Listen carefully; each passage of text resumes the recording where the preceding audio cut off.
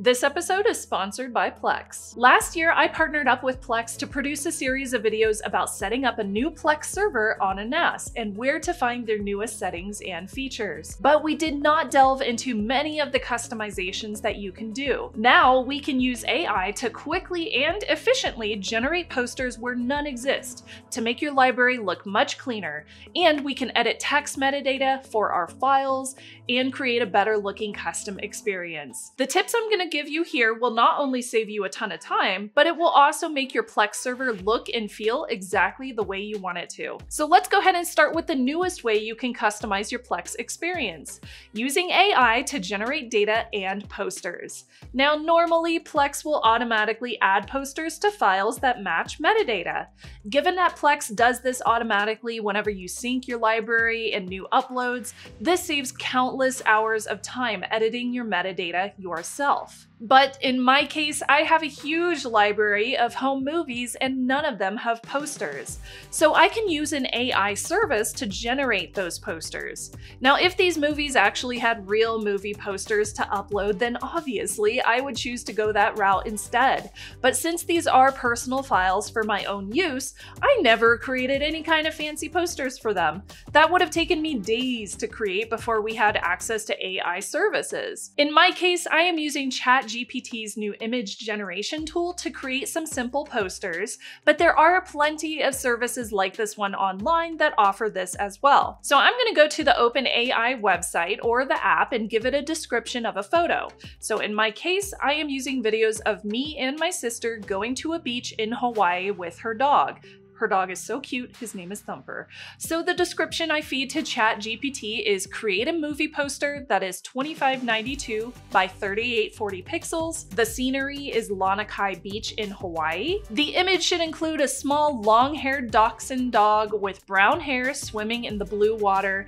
Make the sky partly cloudy. Now since humans often look horrifying via AI, I am choosing to not include any people in the posters that I create. The text that I have given the bot is not very descriptive, but I'm also not going to spend a lot of time here.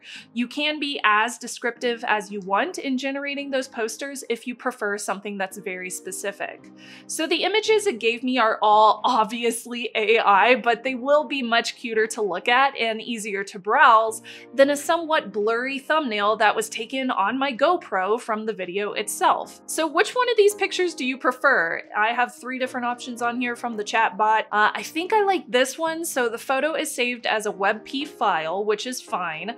I do have a small pro tip here. You may want to keep those posters organized into folders if you ever want to re-upload them to other files or reuse them on playlists or collections. Now, in order to add them to your collection, your playlist, or just the video file itself, just hit the edit button and find the section labeled poster. So click choose an image, enter a URL, or drag and drop and insert your new poster. Then click save changes and you should be good to go. You can also add a background image too using the same technique. So in the case of my Hawaii video, I can generate a background image in ChatGPT again using a similar description but for a different resolution. Now let's move on to customizing metadata. So this is the information about a video file or a series of videos that includes the title, the summary, taglines, original air date or release date, the ratings, and more. Luckily, Plex automatically does a bunch of this work for you, just like with the posters. Whenever you upload a video file to Plex, it will search the web for matching metadata and include that information on your listing. But sometimes you may want to add your own description or review to a file instead of the generic information.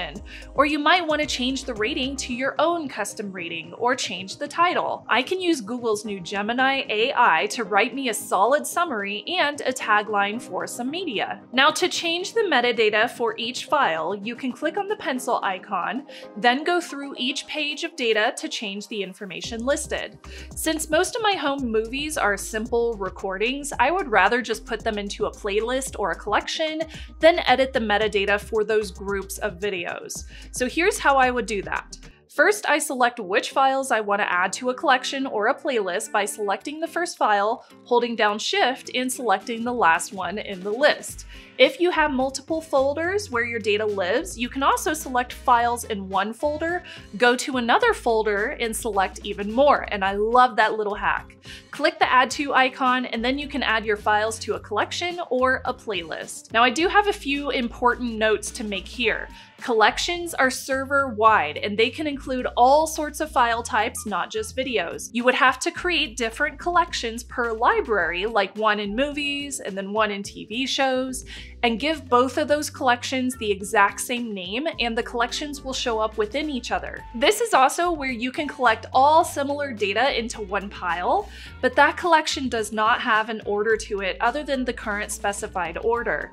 Collections can only be created by the server owner, not users, but a playlist can be created by anyone who has access to your server.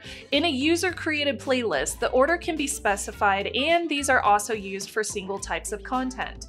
So you can put your files into both, or you could just put them in playlists or just in collections. It totally just depends on what you are doing with that data. Now, if you are creating new playlists or collections, refresh your page and you will see these newly made lists available via the sidebar menu, as well as your menu at the very top of the page.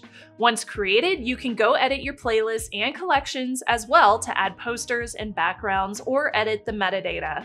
So here I have created another separate custom poster just for the collections and playlists that show me a really quick visual reminder of what each media group is related to. Now check out this before and after of all my home videos. They're finally sorted. I can make sense of it all. It looks so good. Originally, I did have everything filed and organized into folders, which is totally fine for a file directory on a Windows PC, for example. But when moving this data over to a Plex server on a NAS, it makes a lot more sense to organize this data into much more visual and easy to identify playlists or collections. That way, whether I'm wanting to stream these videos on my phone, or watch them on my TV, or watch them on my laptop, no matter which place, I can easily discover the content and get to it rather than going through multiple subfolders. If you have questions about how to do any of these customizations, or if you need some ideas in terms of what kind of prompts you can give to AI in order to develop your own posters for your home movies, leave your comments down below. I would love to help out. Until then, I'll see you next time. Thank you so much for watching and don't forget to subscribe. Bye y'all.